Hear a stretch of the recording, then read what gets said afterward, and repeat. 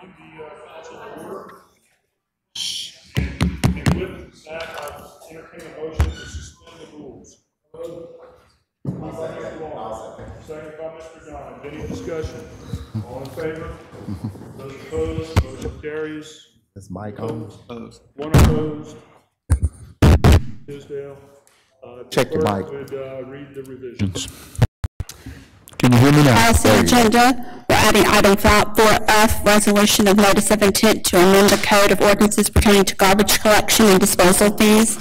And to the consent agenda, we're adding item 5BB, resolution authorizing agreement for property maintenance- maintenance with JLC Gardens. Chair, I entertain a motion to approve the agenda as amended. So moved. Moved by Mr. Lawrence, second by Mr. Gines. Any discussion, Mr. Lawrence? No discussion. Mr. Gines? None. Mr. Tisdale? Yes, I just want to explain my position again. These are items that are, that are added the, the day of the council meeting. And, uh, I would prefer that they be added prior so that they're published on the internet. These late items that are added, you will never see online. So, uh, and I'm particularly concerned about the appearance. I don't think there's any evil intent. But one of the items that were added to the agenda deals with amending the garbage collection and disposal fees. So that concludes my comments. Thank you. Thank you, Mr. Tisdale. Mr. Barrett? I have nothing. I have none either. Uh, all in favor?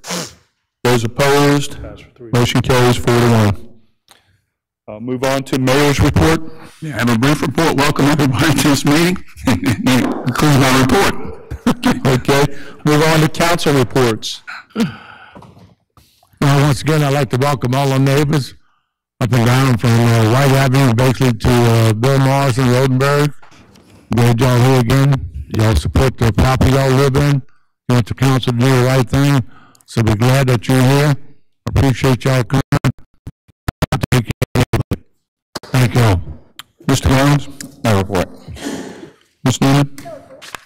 Mr. Tisdale? Uh, yes, Mr. Mayor, there's a, a property owner between Keesler Credit Union and Edgewater Estates, and is, is, uh, code enforcement actively engaged on that property? No, but I have been engaged in, in trying to get a correction as, as when you got, you know, I drove around. Uh, I'm awaiting a response. Uh, but I think they have been as far as the, the, the the golf course, the old golf course property. Yeah, if we're, if we're moving forward on that, just because it's, it's just unsightly if you're driving down Pass Road, and it's tough to explain to other constituents. Um, The repair of the sound system, you're still Waiting a proposal, right. from them. Okay. I know it's been horrible for the last couple of months if you're watching this online. Uh, I thank the Public Works uh, crew that came out on a Saturday and literally the culvert there by uh, Pennzoil Park. It runs under Churchill Avenue. It drains Bay Vista subdivision, so I appreciate their time and effort on that. And I think uh, Ms. Bell and I are meeting with somebody who's looking to remove stumps possibly, or at least give us a price on Pennzoil Park. And uh, I I would also, for those interested, I have a ward meeting scheduled for Wednesday, September 7th.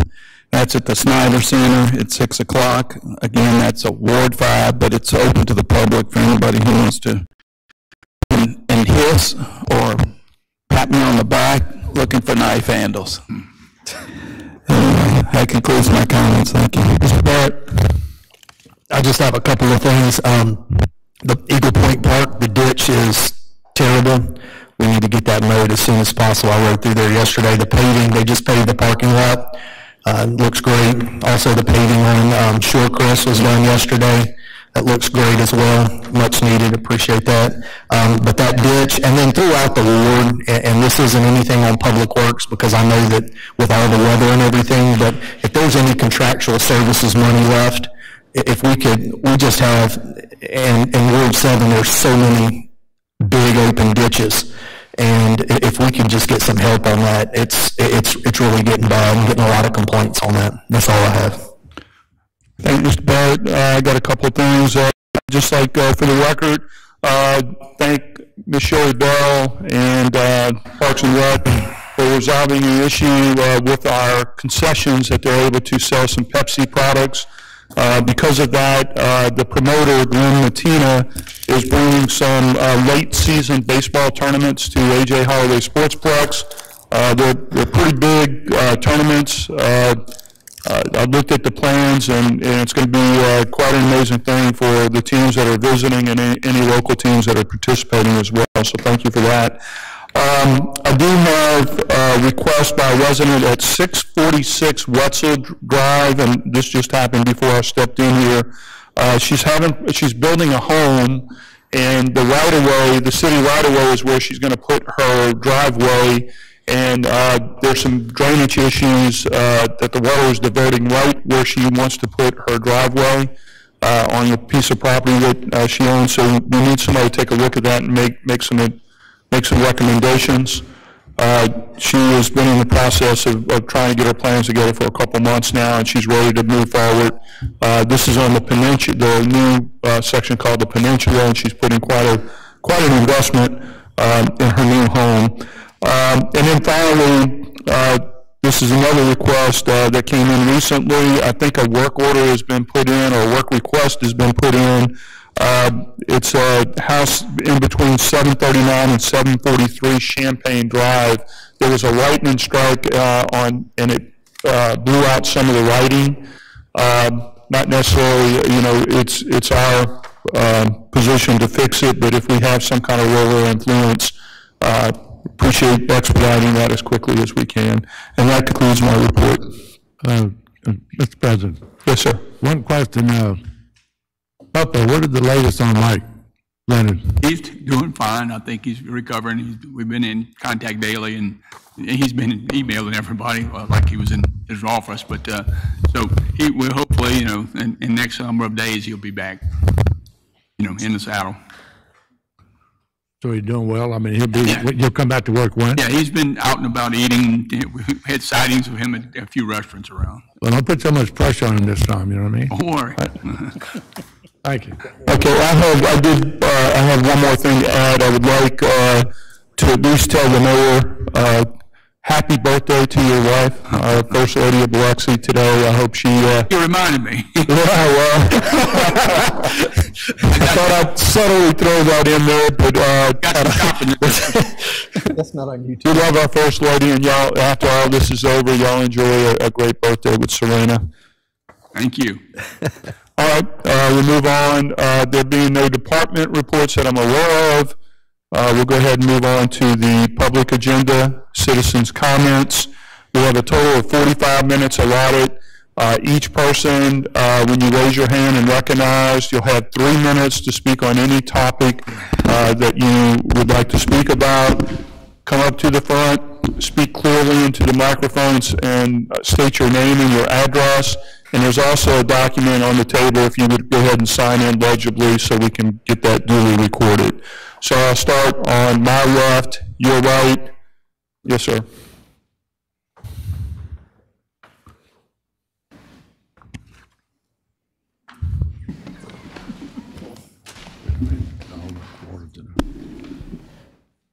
Think we should have a little?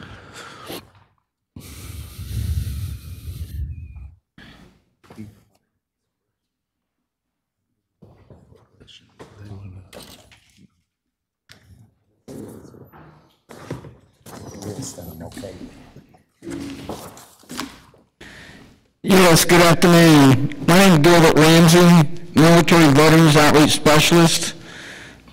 I've been a resident in the community since 67 on the Mississippi Gulf Coast. I'm here to introduce an opportunity for enhancement recreation for mobility impaired citizens, senior citizens. What happened before the pandemic, or excuse me, before the, um, after the oil spill, I went to a seminar at Gulf Coast Research Laboratory. At this seminar, I was introduced the Gulfport High School students, robotic students. And robotic students came to inquire how they could help me. And so what I introduced was robotic lifting system for the disabled community to accommodate disabled people from the pier onto the boat, back onto the pier. So they went out, went out and built it with MIT grant. So I've been recognizing this opportunity, so I came to the city of Biloxi to introduce the, the con, the new pier, what's it called, Collins Pier, and also the Hill Park Pier, I see all this development coming in. Our department, when we introduced it this morning, for an outreach at Deer Island and included Ship Island. So what I'm doing, there's an opportunity because I've seen the hunters using track wheelchairs in the woods. So here is Colorado Park, is using it at the parks. So what I'm doing is going across the whole state with track wheelchairs, included the islands, with my BP contract, enhancement recreation, mobility impaired citizens, international recognition for hospitality state. I have a vet and bottled water company too I'm launching, donating houses, caskets, and dormitories to the proceeds. I'm coming out of the woods. I've been working on since 2013. Everybody knows me. I'm making sure it's implemented appropriately with Cape Blues Lost Outreach. We will maintain it and provide it to remove it during storms. Because of Cape Blues, because Blue Economy, Quality of Life, and this have innovative ideas with University of Southern Mississippi and Mississippi State research capabilities. They're all waiting on me. My name is Gilbert Ramsey. I have um, sponsorship with various casinos. Sponsor me to, for marketing agents for adaptive tourism, assisted tourism. I looked at this for Tourism Commission. I want to be, be a guest speaker at Tourism Commission board meeting. Do this appropriately. Everyone has capability in the community. So y'all's discretion what you do. I know what I'm doing. I'm stepping up plate and hitting home run for everybody. Y'all blessed and be safe. Thank you, Mr. Ramsey. Anyone else on my left? You're right. Yes, ma'am.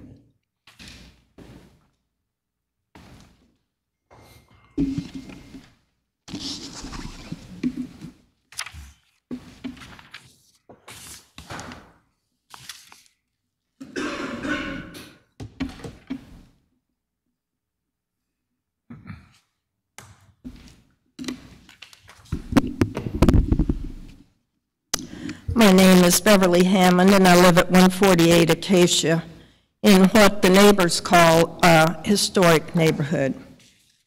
I am here to ask the council to deny short-term rental status at 115 St. John Street. We are by no means the only city burdened with this issue of short-term rentals along the coast. Upon doing some investigating, I found these remarks from people dealing with short-term rentals in our neighborhoods in Alabama.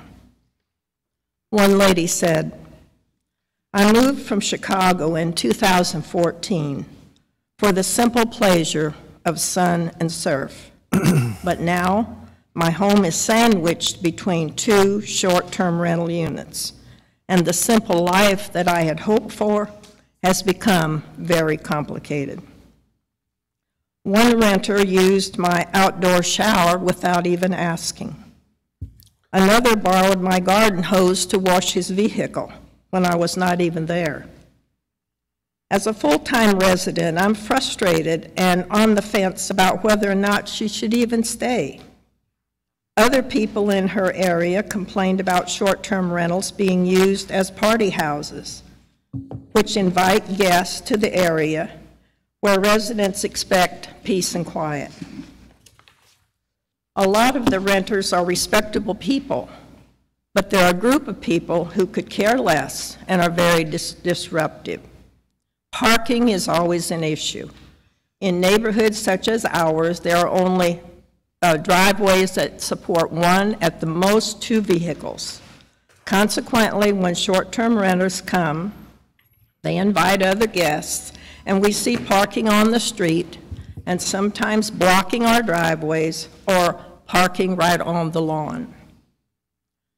My husband and I are asking you, the council, to take action to protect our neighborhood from the impacts of short-term rentals and to keep our area from being bought out by people who want to commercialize single-family zoned neighborhoods and to stand up for the rights of the local Biloxians by denying 115 St. George to be uh, St. John to be allowed short-term rental. Thank you for listening. Thank you. Anyone else on my left? Yes, ma'am.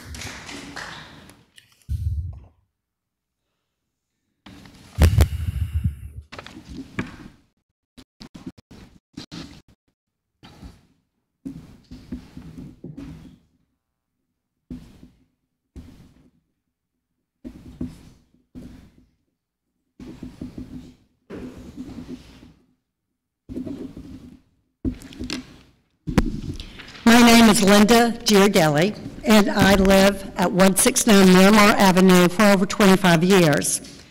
And I'm here today to oppose short-term rentals in our Biloxi neighborhoods. I'm speaking on behalf of Martha Tripp and many, many residents that could not be here today. At this time, I would like to ask all residents who oppose short-term rentals in their neighborhoods to please stand.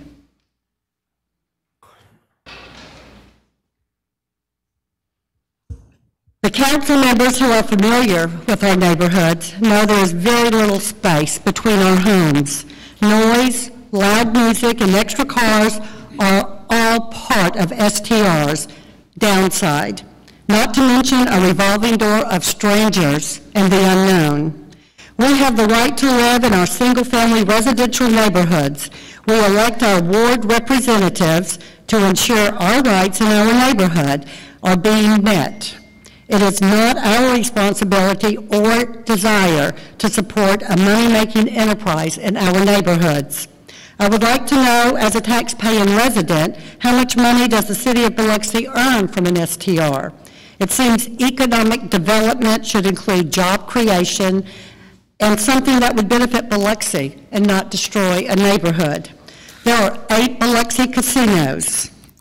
I've counted 24 hotels, motels in Biloxi, all taking the risk, paying taxes, employing people, having a business in the city of Biloxi, and not in a residential area. All that is accomplished with STRs is the destruction of our unique charm and history of old Biloxi homes and neighborhoods. If you vote yes to this initiative, all you are doing is denying a future homeowner the opportunity to join in the revitalization of our neighborhoods and our history. And I have a book, by the way, that is a history of our homes in Old Biloxi that I brought with me today. We depend on our city council to represent the rights of residents and support the large number of people who oppose STRs in their neighborhood. There is no reason to change the integrity of our neighborhoods. We made our homes in Biloxi based on the city of Biloxi zoning maps and laws to protect its residents from commercial development. Please vote against any zoning change on 115 St. John in all neighborhoods and allow us to live in our homes with a feeling of safety, security, and peace. Thank you. Thank you. Anyone else on my left would like to speak? Anyone else on my left? Is there anyone on the right side of the room? Come on up.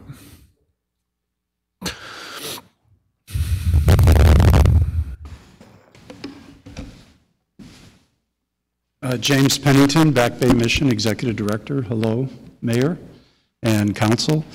Uh, We'll be sharing a little bit more later, but I'm here with Sean Sullivan, our Chief Financial Officer, um, and we're looking to have our funding um, renewed back to $50,000 for the rehab work that we do. Some of what you're talking about here, actually, I concur. I moved into Biloxi now. I'm on Travia Avenue, kind of in that neighborhood. Um, And so we would like our funding restored, and we'll talk about that a little bit more later. Okay? Thanks. Thank you. Anyone else on my right? Come on up.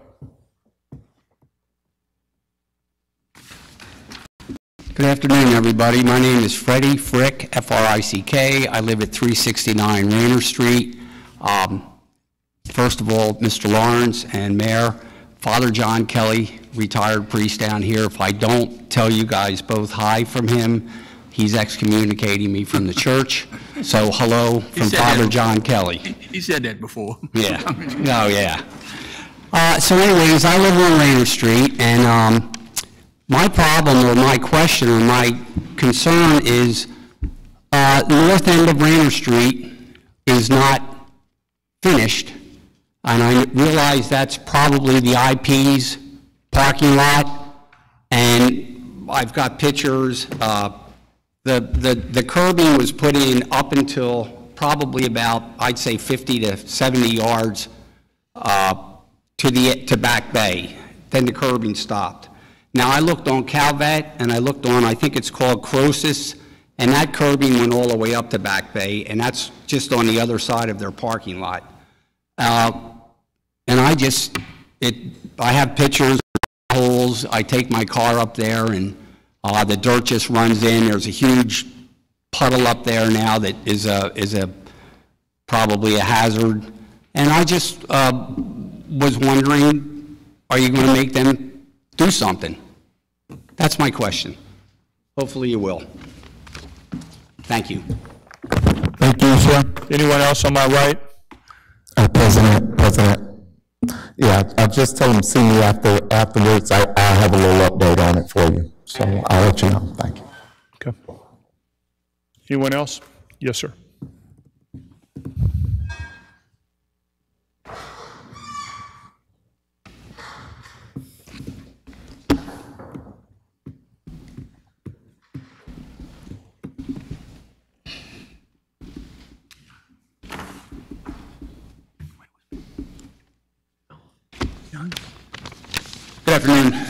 My name's Ryan Sinks. I reside at 1538 Collins Street. I'd like to start by naming a few people that can't be here. Charles Hollis, Eugene Idlet, Stephen Zigai, Maren Forsberg, Richard Pack, Nick Goyette, Ann Hewlett, Darlene Roberts, Randall Broussard, Deborah Gable, Joshua Saunders, Sid and Trilby Trahan. Some of these people are here as well. Teresa Thompson, Beverly Hammond, Patty Mosley, Kay Moss, Susie Hathaway, Martha Tripp, Linda Giardelli, Vicky Ward. There are many more attached to this petition that was included along with the map that I had actually emailed all of you and dropped off a hard copy for everybody to review. And I hope that you at least spent a couple minutes reviewing it, as it takes a different approach when it comes to short-term rentals in communities and something that I have been working on for quite a long time as a 20-year veteran as a, on the Atlanta Police Department, which has actually influenced legislation on these in Atlanta. Um, Some of the things that we've noticed uh, and that are in the packet is that uh, when people ask about crime, it's very hard to delineate between short-term rentals and actual crime numbers. And why is that? Is because bec- if a cr- crime occurs on the street or down the road and people are staying in the short-term rental, that is nothing that even uh, any police department will tell you that UCR guidelines that are put out by the FBI, they do not account for that. There is no checkbox to ask somebody if they're staying in a short-term rental, long-term rental, or if they own a house if a crime is being committed. Um, One of the things I noticed when going over the notes, which I couldn't be at the planning commission meeting, was that this had to have a public interest and have, uh, promote public, public interests. Clearly, it does not. With the amount of people here today, the amount of people that have signed these petitions, and if you look very well, being 115 St. John here, which is the only one up currently, all these green flags denote everybody that lives on the entire block, myself included, that are not for it. Introducing transient tourist base to family-oriented neighborhoods is not only unfair and unethical, it's just, it's not conducive to the lifestyle that people have of walking their dogs, raising their families. I know I'm trying to squeeze a lot in here, and it's because I have three minutes. I wish I had more, which is why I provided you all with those packets to peruse at your leisure. I just happen to notice a lot of these things reading it. Um, Some of the issues that I did notice, like I said, living on the street, I see it all the time. Um, I'm not at home as, as much as my wife, still being actively working where she is retired. Um, There, the parking issues, which is under Section D, uh, the ingress egress, ingress egress on St. John, um, If it's going to be six to eight people and there's only two parking spaces, I see that being a major issue. So one of the other things that, it- that it it does not account for, is it needs to be taken into consideration, hotels have managers, staff, security, and all these other things. I see I'm out of time. I appreciate everybody's time. Thank you, sir. Anyone else on my right?